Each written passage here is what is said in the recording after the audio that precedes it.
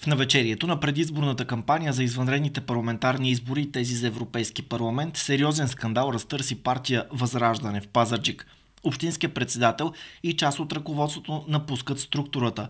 Като причина за това те посочват натиск от страна на народния представител Стоян Таслаков. Натиска е това как да се гласува в Общинския съвет, в интерес, негов личен интерес, а не в интерес на хората.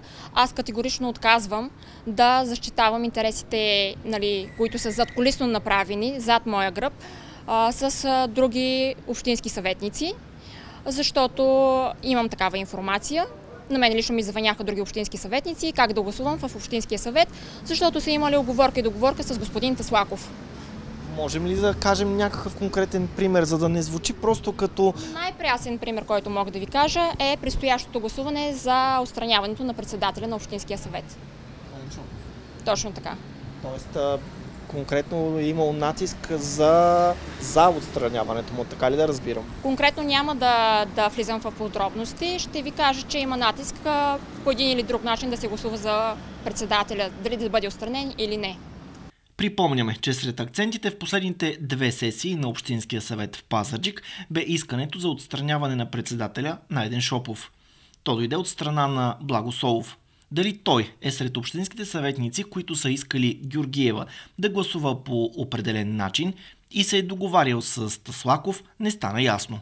Чувствам се предадена, предадена от лидера на партията, предадена и от господин Стоян Таслаков, нашият народен представител, който е за нашата община и област. Когато под натиск и ако мога да се изразя и диктатура, на нас не се налага нали, да гласуваме по един или друг начин, да се взимат еднолични решения, не само, не само за Общинския съвет, като цяло в структурите или като цяло в нашата община, това за мен е предателство.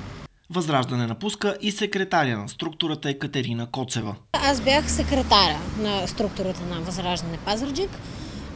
бях свалена от поста си еднолично, без гласуване. и всъщност Еднолично от страна на кого? Еднолично отстранена от господин Стоян Таслаков. От днес партия Възраждане няма своя структура в Пазарджик. Днес официално напускам партията. Официално разпускам структурата на Възраждане Пазаржик, тъй като аз съм председател на структурата от 9 юни 2022 година.